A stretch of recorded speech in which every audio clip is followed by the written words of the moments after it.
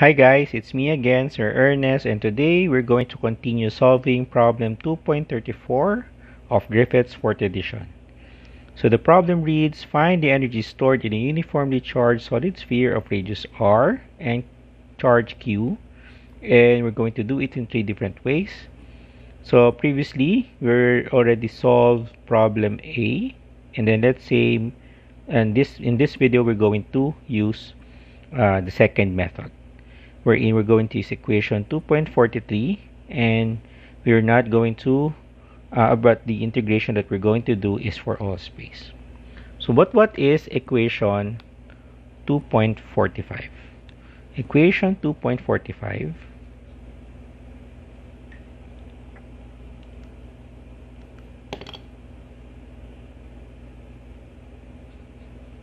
is given by W so that's the energy stored and it should be equal to uh, epsilon naught over 2 times the integral of uh, magnitude of the electric field squared d tau. And this integral is done for all. Space. Okay.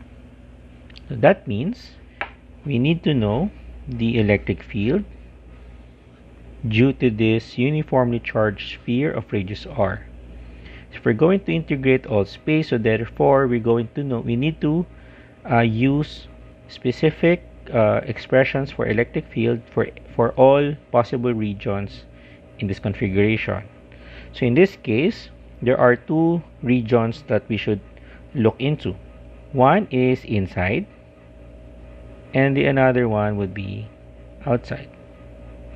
And we already know that the electric field inside would be equal to 1 over 4 pi epsilon naught times q over capital R cube R r hat so again this is for r. Less than r. And is also equal to 1 over 4 pi epsilon naught times q over r squared r hat for r greater than r.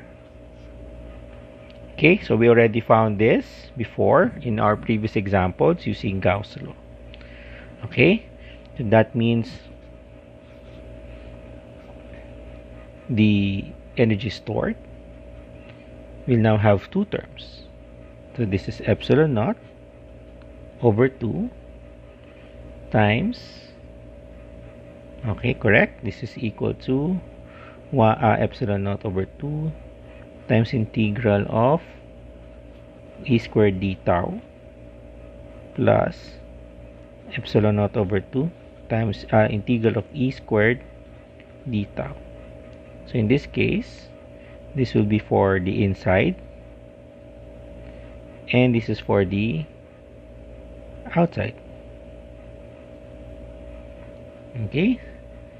So this is now equal to epsilon naught over 2 times integral of 1 over 4 pi epsilon naught q over capital R cube R squared. D tau would be r squared sine theta dr d theta dv. then okay and then this is plus epsilon naught over 2 times integral of 1 over 4 pi epsilon naught q over r squared squared d tau which is this one so this is r squared sine theta dr d theta d phi okay? So what will happen there is that of course the theta and phi integration will just yield 4 pi. 1 over 4 pi epsilon naught for both terms will also be taken out. Q squared will also be taken out of the integral. Okay? Okay. So this one becomes uh, 4 pi epsilon naught over 2 times q over 4 pi epsilon naught squared times the integral of uh, r to the fourth over r to the sixth. Dr evaluated from 0 to r. And then plus integral of dr over r squared evaluated from r to infinity. Okay so right now we're not going to the details of the integration because this is a very uh, very basic integration so what do we now have here is that one of the 4 pi epsilon naughts here will cancel here. So this is q squared over 2 times 4 pi epsilon naught times uh, 1 over r plus 1 over r uh, 5r which gives us uh, 1 over r plus 1 fifth over r. So this becomes um, so this becomes uh, what?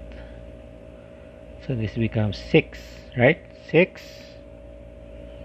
over 5r and then that's 6 over 5r so this is q squared over 2 4 pi epsilon naught times 6 over 5r right? 2 will cancel.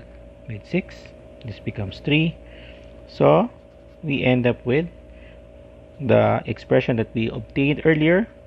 So that's 1 over 4 pi epsilon naught times 3 q squared over 5 r okay?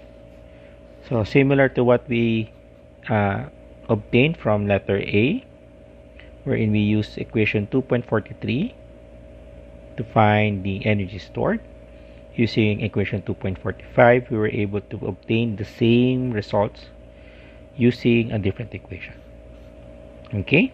So again this is the energy stored in a uniformly charged solid sphere of radius r and charge q okay? So the uh, the, uh, the original problem uh, the original problem 2.34 has letter C and I will leave it to your uh, own exercise. Okay? So that's it. Thank you for watching. I hope you learned something today and I'll see you guys in the next video. Bye bye